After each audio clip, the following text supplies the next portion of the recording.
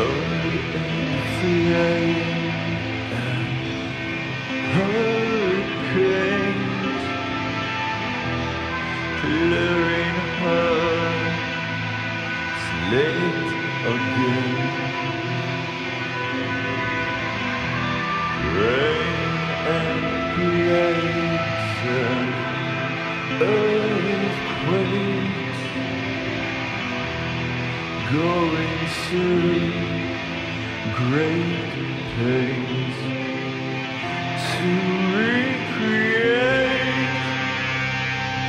the great dying, the fire, triumphant of this.